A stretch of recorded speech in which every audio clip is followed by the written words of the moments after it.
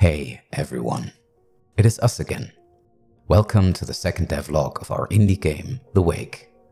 First of all, let me say how overwhelmed and happy we were from all the feedback, encouragement, and positivity you all sent our way. The channel and our little community are growing faster than we had ever imagined, and it is all thanks to you. Now, today's devlog will be all about our first steps in the game engine. Last video, we told you all about how the German government gave us 100k for free to make our dream come true. So shit got real and now we had to deliver. The first big decision for us was to pick an engine. I will spare you the details, but we took quite some time deciding on the best option for us. Initially, we went with Unity.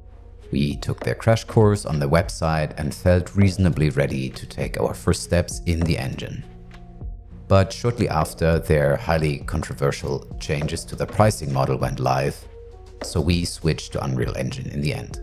Sick. We didn't want to do a crash course all over again since the clock was ticking already, so we decided to just wing it and hope for the best. But where to start? Like I told you already, we had no clue, so in our naivete, we picked a mechanic that is common for many games and was also essential to ours, an inventory. Sounded like a good idea, but it turned out way, way harder than we had originally anticipated. But starting out, Unreal Game Dev's YouTube tutorials were exactly what we wanted.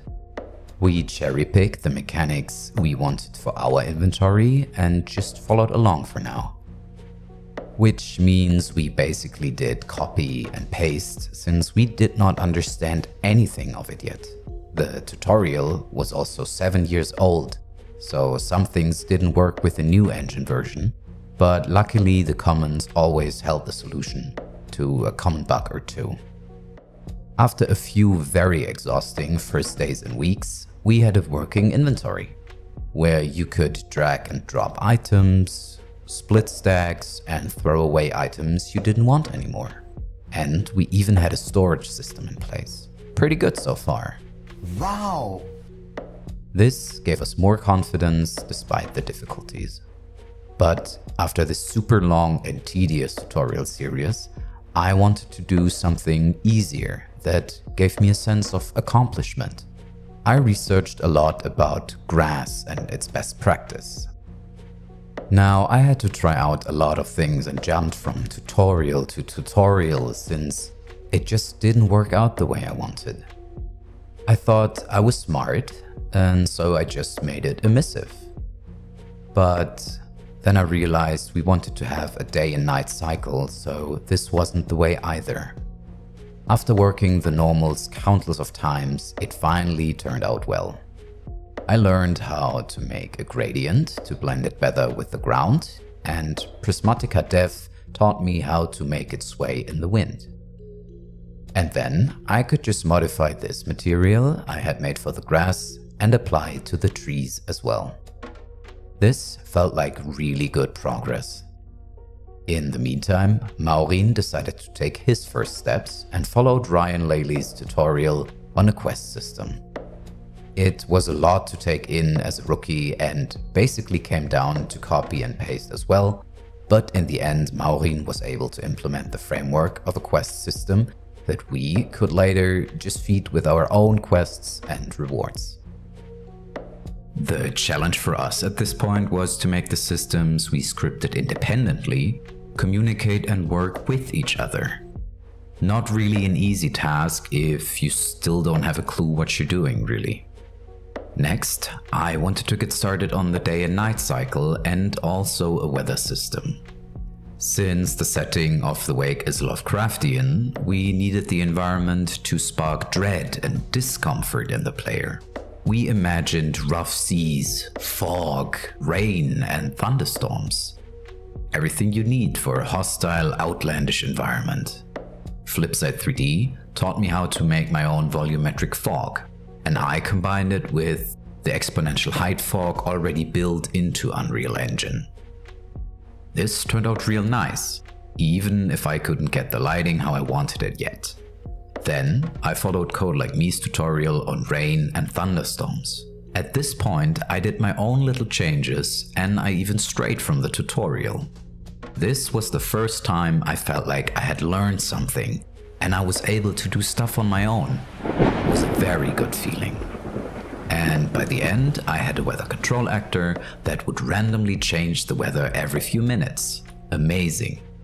This was when Maurin also had enough of torturing himself and he decided to step into his comfort zone for a little bit. He wanted to play to his strengths and do some creative tasks. The implementation of a player journal. We wanted to have a nice little sailor's diary with a world map, a crafting tab, a quest log, of course, a collection of letters and lore you found exploring the world, and a compendium of the different fish and monsters. It would tell you all about them, their likes, their temper, where they are most likely to be found, and also their potential loot. Maurin started to implement the UI. Those were his first steps with Unreal Engine's widget system, and I think they turned out pretty nice so far. We agreed to make it functional first and polish it later on. Next, Maurin worked on putting the quest system he made previously into the journal. The goal was to be able to track quests progress in the diary, choose an active quest and pin it to the side of the screen. Done.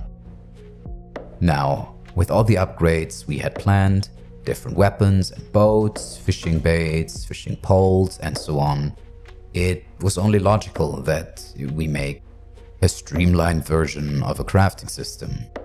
The idea was that the player collects stuff while exploring islands and gets resources from fish as well.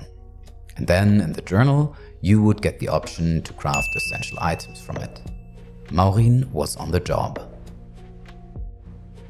In the meantime, I mustered up the courage to tackle one of the most important things we had ahead of us the water. I was madly in love with the water in our Ark Nemesis game Dredge. They did such an amazing job with the foam and the depth fade, and I, on the other hand, had a really hard time. I scoured the hellscape that is Unreal Engine stylized water tutorials on YouTube, and I found some okayish ones, but I always compared them to how awesome Dredge looked in comparison and nothing came close. Still, I went with the one I deemed best for the job, and after copy pasting some black magic the person did on Unreal Engine's ocean system, the water looked quite nice. But there was no real turbulence in it, the foam looked more like reflections in a calm lake. I painstakingly tried to combine this thing with my own interpretation of an ocean foam and the result got a passing grade, but I was still far from happy with it. Moving on, Maurin had finished a rough version of the crafting system, but it didn't work inside the journal yet. What? What? What? Now, keep in mind that we did everything in Unreal Blueprints. Not a single line of code was written and it should stay like this for a long time. Maybe some of you find that lame, but I find it quite fascinating and also encouraging that you can build a rather complex open world game without ever writing your own code, all in blueprints.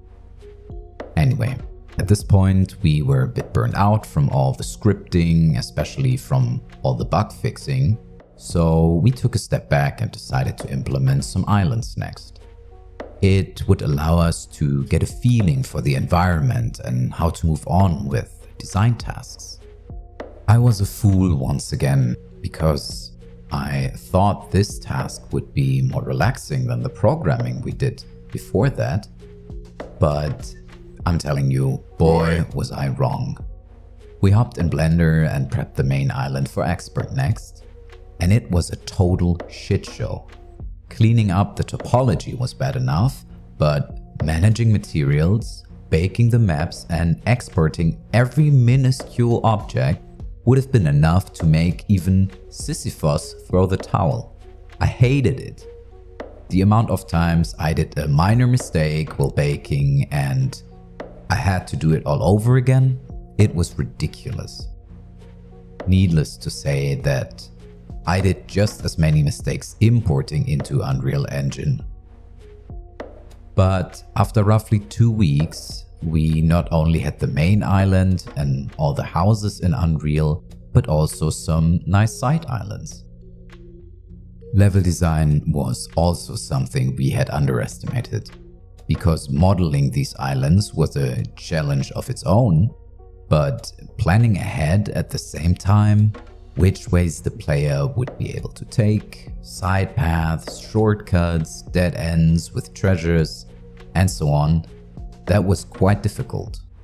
Luckily, the islands were meant to be small in scale anyway, since their main purpose was exploration and finding loot. But still, what they were lacking in action, they should make up for in style, so it was essential to make them look nice and populate them with ruins, grass, trees, bushes, and rocks. So we initially placed all that stuff tediously by hand and it almost drove us nuts. Not to mention that we had to make sure meshes were touching the ground for each and every one of them. Now, we knew that this would have been way easier if we used the landscape tool to make islands, but since they were actors with individual static meshes that we had, we were not able to use the landscape brush on them. Maurin, in a stroke of genius, found out about the so-called placement tool. It would allow us to make instances of existing meshes like grass and trees, similar to a landscape brush. It seemed much like we had found the holy grail with this one, but wrong. This thing worked well at first, but oh my god was it riddled with bugs. Honestly, if we had a dollar for every crash this thing cost, we would be able to finance a triple A game by now. Bruh.